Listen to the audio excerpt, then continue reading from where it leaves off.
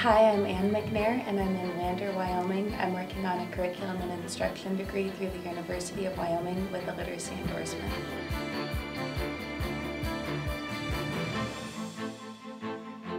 I think it's a lot of fun taking classes as a married couple. Um, you know, getting to be in the same class together and studying together. We've been pursuing it for close to two years now, and um, I, we wanted to do it to uh, improve our instruction uh, in the classroom, um, and also just to uh, better ourselves, you know, professionally. We wanted to get a master's degree. I've been um, a traditional college student before, you know, and now that I'm working, I need something that works around my schedule that I can do in the evenings, and I don't have to go somewhere.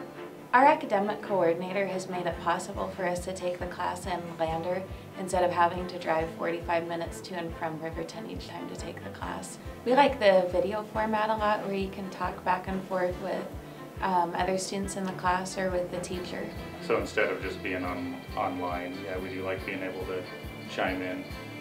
Both both of us come from teaching families, so that's one thing. It's you know it's kind of it's kind of been passed on.